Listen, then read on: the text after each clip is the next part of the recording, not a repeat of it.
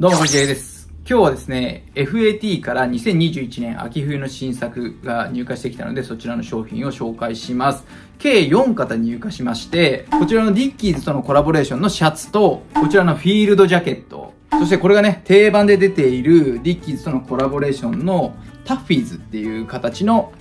パンツ。そしてこちらも同様に、えー、コラボレーションのパンツのビギーズというパンツの4型入荷してます。で、今回の動画の内容はですね、この商品たちの詳細を、まあ、サクッと紹介した後に、このフィールドジャケットのティッチスキニーファット ML、XL のサイズを私が着用してサイズレビューをしたいなと思います。では早速行ってみましょう。どうぞ。はい。ではまず最初にこちらのシャツなんですけども、今季のシャツに関してはですね、少し仕様が変更されての発売になります。まあ、これもね、継続で発売されている商品ではあるんですけども、今回ね、仕様が変わっているのはポケットの部分ですね。えご覧いただくとわかるんですけども、前回はですね、フラップの仕様だったんですが、今回はですね、ボタン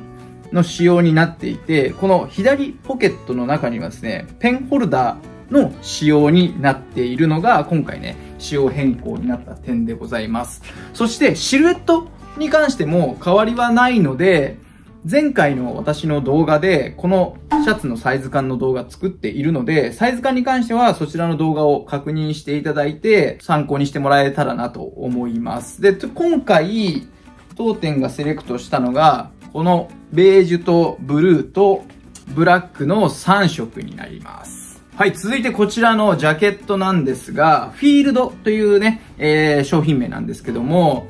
どうやらあの、カナダのフィールドジャケットをベースにね、商品を作ったそうです。まあ、特徴としては、こちらの左胸、右胸のポケットがスランとしている、まあ、こう斜めになっているっていうのが特徴だと思うんですけども、まあ、それ以外にフ、フードが脱着可能だということと、あとポケットがですね、このようにマチがあるので、割と容量多めに何か物が入れられるような、まあ、作りになっています。あとはですね、サイドポケットもあるので、かなりね、収納力が高いジャケットになっているのではないでしょうか。サイズ感に関しては、そこまで大きくない作りではあるので、これ私後で3サイズ着用してみたいなと思います。はい、続いてこちらのパンツですね。こちらはもう定番で最近出ているパンツなんですけども、このパンツのシルエットと仕様に関しては、変更ないとのことでございます。えですので、このパンツのサイズ感はですね、前回に動画私作っているので、そちらのね、動画を参考にしてもらえたらなと思います。概要欄にね、これリンク貼っておくので、ぜひ参考にしてみてください。で、さっきのシャツとね、セットアップで着てくださいというね、提案を私はしたいんですよ。まあ、こんな感じですね。このタッフィーズを履くと、さっきのシャツと合わせると、このぐらいのシルエットになってます。パンツの形は、まあ、下に行くにつれて、テーパードがかかっているのと、くぶ丈の仕様になっているので、まあ、こんな感じのシルエットなんですよ。これは個人的な意見になってしまうんですけども、こっちの方が、個人的には好きなシルエットですね。独特な形がね、FAT らしさをね、出しているのではないかと私は思うので、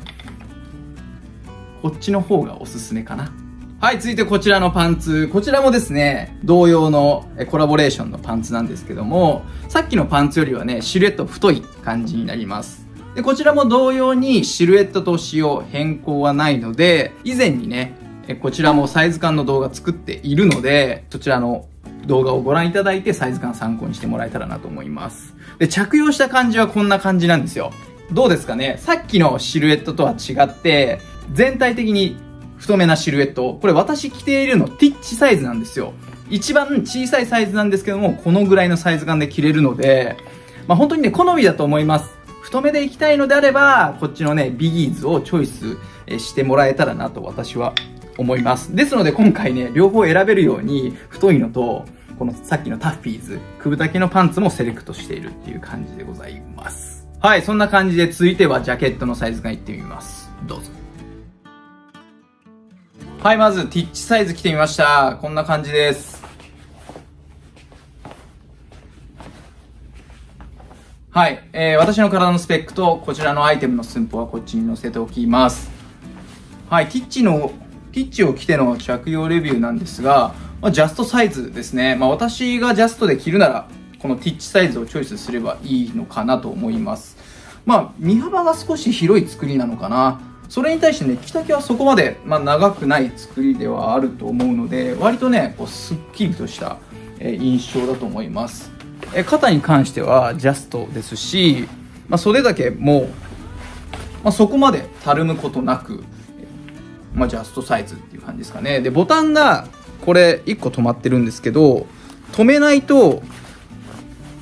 まあこのぐらいの広さ。1つのボタンなので、まあ、止めるか止めないかっていうのはまあお好みでっていう感じですかね。まあ止めなかったとしてもそこまで長くない、作りにはなっていると思います。では続いて L サイズいきます。はい次 L サイズです。こんな感じです。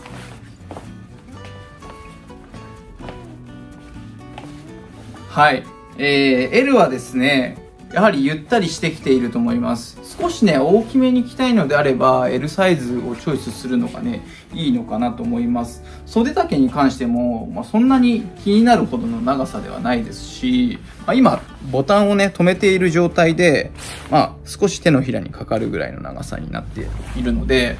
まあそんなに気にならないかなっていう感じですかね。で、あと今私 T シャツ1枚下に着てるんですけど、まあ、かなりね、それでもゆとりがあるんで、まあ、これから秋冬にかけて、まあ、下に何かスウェットだったり、まあ、パーカーは着ないかなとは思うんですけど、まあ、パーカー、このフードがね、脱着できるんで、パーカー着ても、割とね、スペースはあるのではないかなと思います。おそらくブランドさんのね、こうサイジングのイメージだと、まあ、このぐらいの少しね、ゆとりがあるサイズをチョイスされてもね、いいのではないかなと思います。では続いて、ファットいきます。はい、次、ファットです。こんな感じです。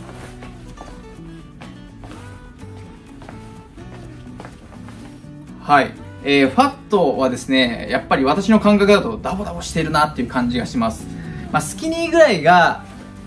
私としては、まあ、いいサイズ感かなと思いますね。ゆったり着るのであれば。ファットだとねかなりダボダボっていう感じがします、まあ、だからって別にこの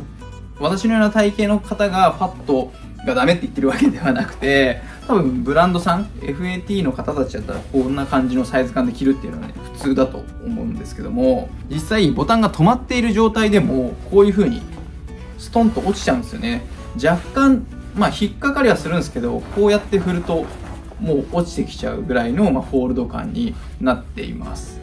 まああとは全体的に、まあ、広い作りなので、まあ、インナーにね、全然着込めるぐらいのスペース感はあります。はい、そんな感じで続いて3サイズまとめた動画流します。どうぞ。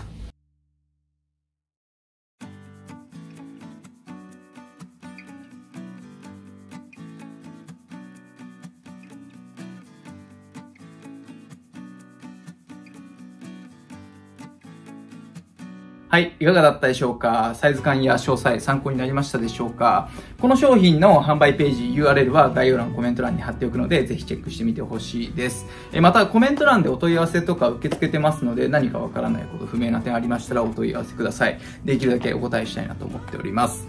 はい。で、最後にお知らせなんですけども、私は神奈川県小田原市でセレクトショップをやっていまして、普段このチャンネルでは、ストリート系のジャンルとアメカジ系のジャンルを、えー、扱っているチャンネルになります。え今回はね、FAT のえジャンル、ストリート系のね、ジャンルを扱った動画なんですけども、もしね、FAT のことがね、好きな方いらっしゃいましたら、ぜひね、チャンネル登録の方もよろしくお願いします。えそして私、SNS やってます。Twitter とインスタやってるんですけども、SANNY0716 と検索してもらいましたらヒットするようになっているので、まあ、ぜひね、私のアカウントもフォローしていただければ幸いです。はい、本日は以上となります。最後までご視聴いただきありがとうございました。ではまた次の動画でお会いしましょう。